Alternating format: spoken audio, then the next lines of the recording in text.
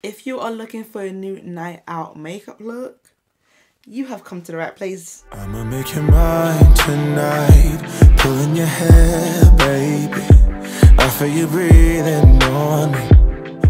Hello cousins, it's Kemi. Welcome or welcome back to my channel. So in today's video, we have got this look. It is very much full coverage. It's given all the feels in this to give, okay? So in today's video, I have got this smoky green makeup look for you guys. Very much suited for a night out, a night with the girls, with your man, to the club, to dinner, wherever you want to go. I don't know why I don't wear green eyeshadow often because it honestly does look stunning every single time I put it on. I feel like green eyeshadow especially is one of those colours that gets missed out a lot. Not a lot of people you know, gravitate towards it but this look it's very much given. We've got the dark smoky eye with a bit of colour which is the green and we've got like a satin matte finish. Perfect for a night out because it's gonna last you throughout the night and you come back home still looking good. So without further ado, if you are loving this look, let's get into it. Alright cousins, so I have done my skincare and done my brows. I did do my brows a little bit darker today um nothing too crazy at all. I literally done the exact same step that i do in my brow tutorial but at the end i just went in with my benefit brow zings pro palette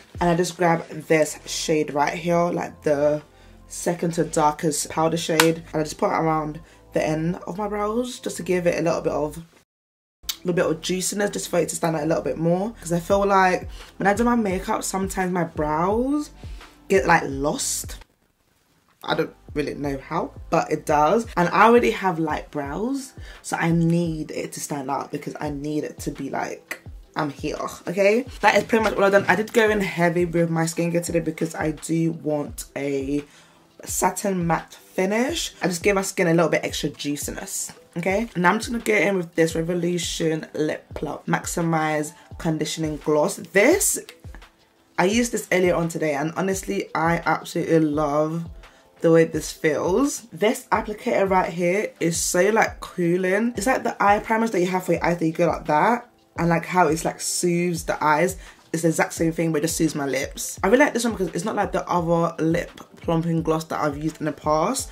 Those ones are literally on steroids because as soon as you put it on, why is my lip burning? Why is my lip burning? Like the Too Faced lip injection is lip gloss on steroids. If you're looking for that plumping lip gloss, the Too Faced one will do that for you. But this one is a bit more subtle, a bit more babyish. But it's there. Like you can still feel it, but it's not extreme. And if you don't like lip gloss or the tackiness of lip gloss, you might like this because it doesn't have the tackiness of a lip gloss, but it gives the shine of a lip gloss. Okay, let's get started with this makeup look. I do want to do eyes first, just because I'm a little bit skeptical on how it will look afterwards. So let's do eyes so we can be on the same side. I am going to go in with a eyelid primer and the one I'm going to be using today is my MAC Prep and Prime Estee Eye Base. This one is really good. I've had this for years actually and it's still holding up. All you need is honestly a little bit. I kind of like this product because it gives like a more extra tackiness. It actually allows the eyeshadow to grip onto my eyelid. Not that a concealer doesn't, it's just a concealer creases a little bit faster whilst this one actually doesn't. I would have went with a concealer consider if I was more concerned on the pigmentation of my eyeshadows. I'm just to go in and just tap this on use my ring finger. Okay, so the eyeshadow palettes we'll be using today are quite old, but they're like staples that I feel like everyone has, and they are the Morphe X Jaclyn Hill, the Vault, I believe, palettes. It comes in four, but I'm to be using three out of the four today. I've got the Armed and Gorgeous palette, I've got the Dark Magic and I've got the Ring the Alarm. These palettes were like staples back in the day. Jaclyn Hill and more people were killing it with the eyeshadow palettes. So I'm pretty sure everyone has these. If you don't, I'm pretty sure you have these colors in one of your makeup drawers anyway. The main shade that I actually want to use in today's video is in the Dark Magic palette and it's this green right here. But i want to use ring the alarm and armed and gorgeous for their lovely transition shades. I feel like this is a really gorgeous pretty transition shades so with this look i think i'm just gonna do my makeup how i normally do it. I'm gonna go from dark to light you know work from the crease upwards and fill it in my lid afterwards. I really need to wash my brushes right now. My, my brushes are so filthy. Yuck. Anywho Let's go into Dark Magic. Let's grab Mojo, just this dark brown shade right here. Pat that into my crease. Oof. I forgot how pigmented the shadows were. I swear to you guys, Morphe and Jaclyn Hill actually just hit the nail with this palette. This shade is like a really cool tone, dark brown. And I'm using this because I didn't want like a warm brown because a warm brown wouldn't really go for the smokiness that I'm going for. And then you just want to do the same on the other eye. I am not to do one eye type of girl because I feel like I always forget what I've done on this eye. So I like to go in and do both eyes at the same time using the same shades because that way I know that I'm not missing any steps in between. I feel like my eye eyeshadow always look better on this eye for some reason. Don't know why, don't ask me, I don't know. But it just always looks good on this eye. I don't know. So now what I want to do is start to blend out the edges of this shade. I don't want anything too orangey. I want something on the more on the browner side. So something like Secret wouldn't really work. The undertone of Secret is very red. So I'm going to go into the Armed and Gorgeous palette. I'm going to grab Prowl, which is this shade right here. The shade Prowl is like a neutral brown. I'm going to go in my Morphe M330 brush and just start packing it on slowly. Do you guys see that? Like the undertone of that shade is not red. It's like very much neutral. I'm just going over with tapping motion. You should just tap in, tap in, tap in. And eventually those shades will like merge into each other and that will give me my blend. Oh, we're looking very ugly. You're looking ugly, ugly, ugly, ugly. But it's fine, we're gonna fix it. now I'm gonna go in with Smooth Criminal. I'm just to place that right into our brow bone area right here. Again, stamping motion, like so. Do you guys see that? Just stamping the colours on will eventually just blend out your shades for you rather than you doing a lot of blending, a lot of work. So now that we have the placement of our eyeshadows down, all I want to do now is just go in with each shade and just blend and make sure that everything is blended seamlessly. I'm just going to grab a clean fluffy brush and just, you know, blend it out. And then once you start to lose colour, all you want to do is just go in with the shades that you're losing and just add more.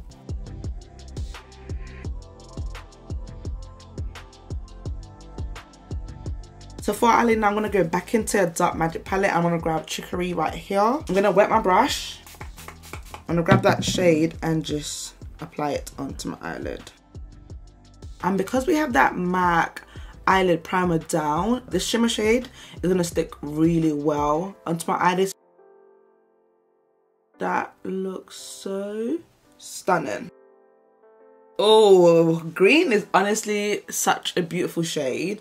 I don't know why a lot of people don't do it often. Like green is actually such a pretty shade. I'm just going in now and just blending the edges of the two shades. I don't feel like I need to add black because I feel like that dark brown is dark enough. All I think I might do is maybe smoke out my lash line using a black eyeshadow. So we're gonna move on to skin and we're gonna come back and finish off the eyes. I'm gonna start off by priming the skin. I'm gonna be using two primers today and they're both from Laura Mercier. We've got the Pure Canvas Blurring primer and I've got the Perfecting primer. I've actually started mixing my primers instead of me applying one waiting for that to settle down and then applying another. I saw this on mariam moose's video where she was getting ready for the brits and she literally just mixes in all her primers and i just thought that was bloody bloody genius because it just cuts your time by like five minutes. So i'm just gonna mix the two primers on my hand and then just apply it onto my skin and I'm just gonna massage it on. And these two primers are really good because one, the blurring primer smooths out your skin and the Perfecting one feels more lightweight, feels like a lightweight moisturizer on the skin. I feel like the blend primer makes my skin a little bit dry, so that is why I'm going with the Perfecting one as well. Okay, so the finish of the look that I want today is like a satin matte finish. I don't want to use a matte foundation because I do want a little bit of glow. So I'm to go with foundation that's lightweight but has coverage. And when I put on my powders, it will give me that matte look that I'm going for. But the radiance of the foundation will allow it not to be like caked on dry or like matte. So the foundation I've chosen is going to be my L'Oreal True Match Nude Plumping Tinting Serum. I've got a shade deep and very deep. So I'm just to do a little concoction on the back of my hand. The shade range is very, very limited. And just to blend this out, I'm to be using my Morphe foundation brush. I'm just going to stipple that into the skin. It is a really beautiful foundation you guys can see. I also use a medium coverage for a serum. It's a good coverage.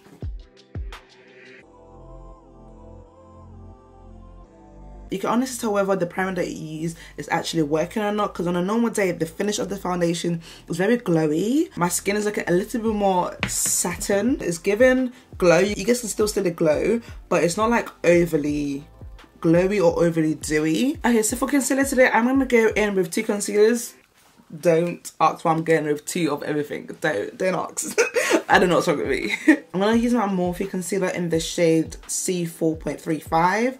And I'm also going to use a little bit of my Maybelline Instant Anti-Age Eraser in the shade Tan. Because my eyeshadow is quite cool tone, I don't want my skin to be cool tone as well. I want it to be a bit more golden. I'm going with concealers that have a red slash golden undertone. And that is why I'm using these two shades. I'm just to apply this right in my inner and outer corner just to like drag my face up a little bit because I do have a ponytail so I wanted it extra snatched you know I am going to use the Maybelline one afterwards but for now I'm going to go in and blend out this shade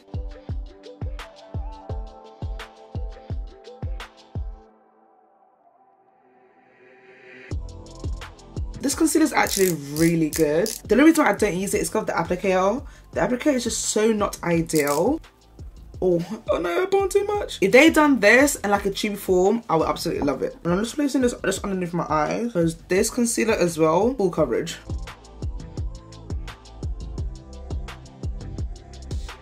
I know we're looking very light right now, don't worry it's gonna get fixed okay? To do that we're gonna start you know bronzing and contouring the skin. And i'm gonna be using the makeup session mega concealer in the shade 18 and i'm also gonna go in afterwards using i am magic foundation stick from juvia's place in the shade congo. This is like the perfect undertone of like chocolate brown and this bronzes me up really nicely. I'm just gonna apply this on my cheeks. I feel like an old school youtuber. I'm gonna apply it a little bit lesser to my hairline I am to blend this out first. I'm just to stipple that in.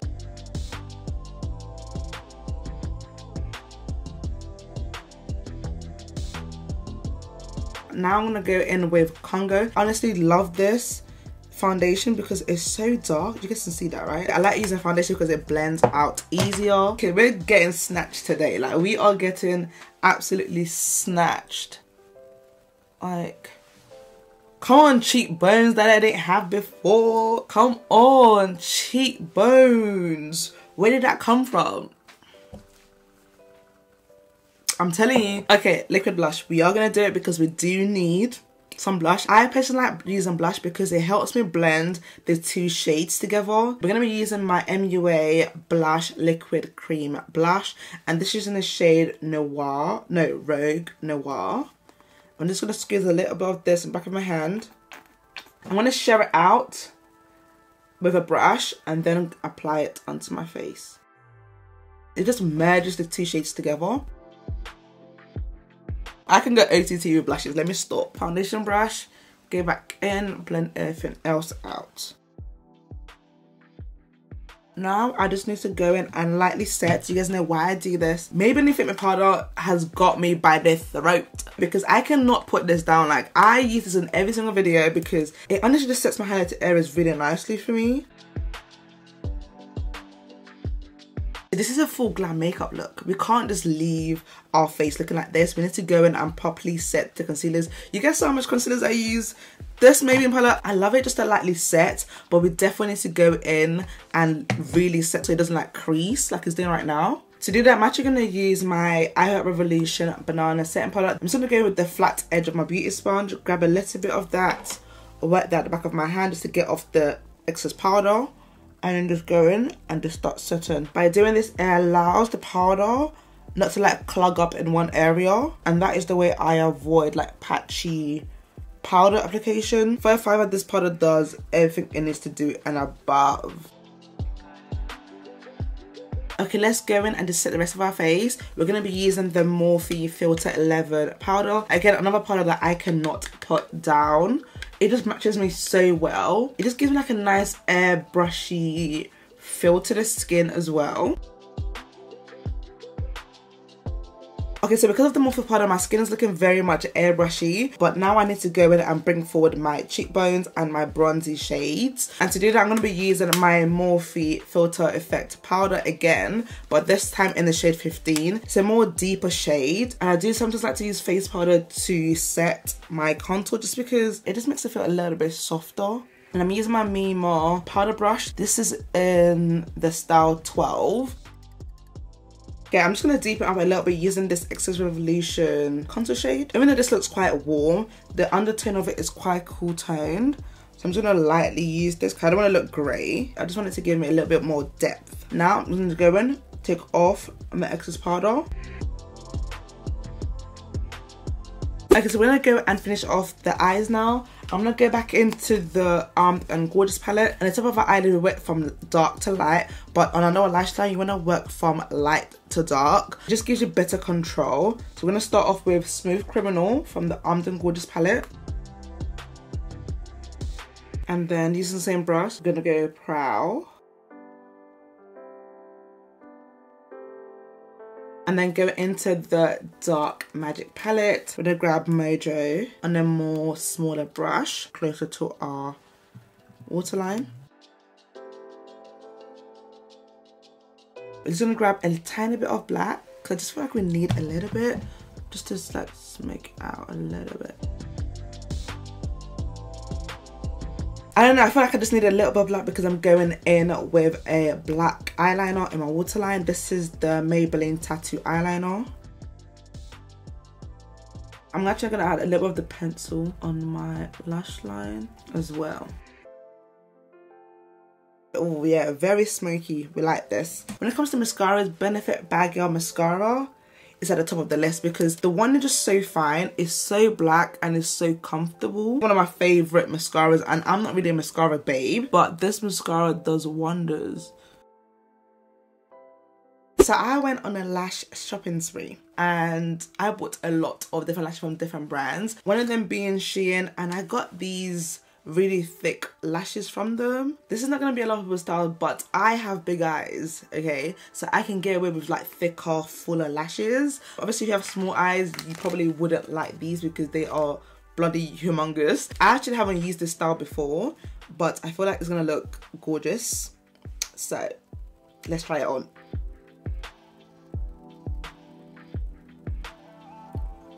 Oh, that looks good. Yes, bold lash, give it to me. These lashes are definitely given full beat. This is not for the shy babes, okay? These are really nice and they're actually black because I feel like there's some lashes that I buy from like AliExpress or or Shein and but they look a little bit grey but these are actually black and by the way I went and glued it down using my Shein or SHEGLAM two-in-one eyeliner which is an eyeliner and a glue at the same time. Best product from Shein ever. Obviously this look is more of a night out look and we're definitely going to need our makeup to last all day. So we're going to go in with our urban decay all night setting spray to set our makeup all night. Literally drowning it. So whilst my setting spray is doing its thing i'm going to go in and do my lips. You guys already know NK lip liner and my Primark eyeliner in the shade brown. NK lip liner first.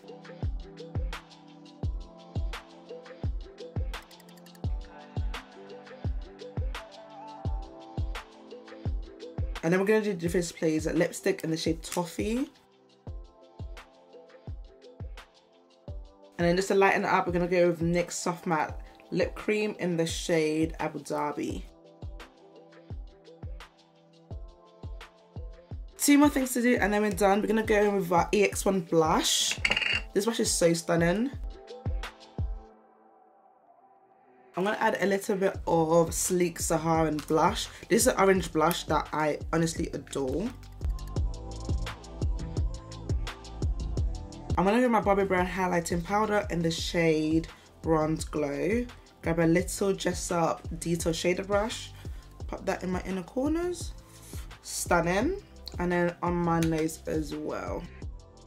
Okay, so makeup is pretty much done. Let me go get changed and I'll be right back. Okay, so I am back. Hair is down. My hair's looking a little bit stiff right now, but it's fine. This is the completed makeup look. What do you guys think? Do you like? Would you be trying out? Are you a green person? This look is therefore for when you want to make a statement like, I am that babe, don't play with me. Of course, you can go in and change the green if you don't like green. If you want to choose another color, you can do a navy blue or like a dark purple. This look, you can alter it however you like. Feel free to change it up, okay? I definitely love the fact that we went with green today and the thick lashes are just given. Anywho, thank you cousins so much for watching. I love you guys so bloody much and inshallah I'll catch you guys in my next video. Bye cousins. Mwah.